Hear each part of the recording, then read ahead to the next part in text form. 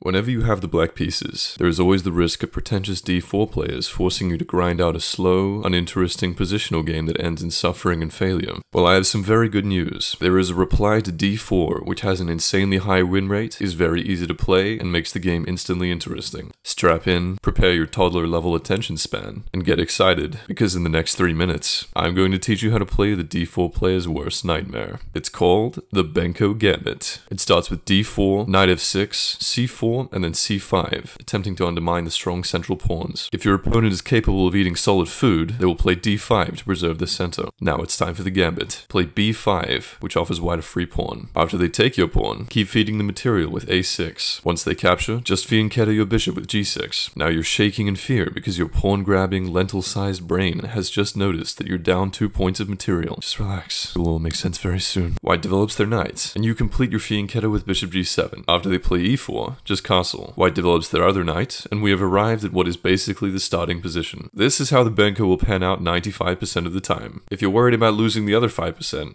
Fuck it, still worth it. The general plan here is to use these two open files for the rooks to attack white's weak queen side. The bishop on g7 is extremely strong and combines with the rooks and queen to add overwhelming pressure to these pawns. Your pawn structure is going to be extremely solid after you play e6. These juicy advantages all come from throwing away the b pawn, which is mostly useless anyway. Continue with queen a5, pinning the knight and threatening to take on e4. If they defend it with bishop d3, take on e4 and win the game like this. However, they will usually play bishop d2. When this happens, take the pawn on a6 with your bishop. Here white has two options. If they take your bishop, recapture with the queen. They will try to trade queens with you because they have an extra pawn and zero dignity, but it's okay. Just play e6, and after they take, recapture with the knight, and you have an amazing position. If white takes on e6, recapture with the f-pawn. White castles, and now you play knight b4, and then knight d3. Your knight is perfectly placed, your bishop is menacing, and the queenside pawns are now more fragile than the ego of a candidate master. If they castle instead of taking on e6, Go for knight b4 again, which presses d5 and aims to bring the knight to d3. Statistically speaking, they're most likely just going to throw the game by letting you come to d3,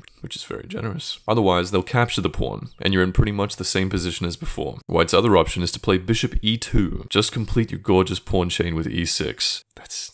Oh, it's so nice. And white will castle. When this happens, trade bishops on e2 and play queen a6. Once they take your queen, recapture with the knight and you're threatening to go to b4 and d3 just like the other line. If they prevent you from doing this with a3, bring your rook to b8, and you have immense nut-crushing pressure on the queen side. It's very easy for black to play, and it's very hard for white to defend. But Ben, what if they decline the gambit? What are you, fucking playing in the World Cup, they're not going to decline the gambit, dude. Just chill out. If they do something unexpected, always stick to the following plan. Sacrifice the B pawn and the A pawn, fianchetto the bishop, build this pawn chain, bring your rooks to the A and B file, and mercilessly bully white's queenside pawns for their weakness. And that's how you play the Benko Gambit. If you'd like to learn more about chess, or just want to absorb a modicum of my infinite charisma, subscribe to the channel, like the video if you enjoyed it more than being waterboarded, and leave a comment asking me what you want to learn next. I'll see you next time.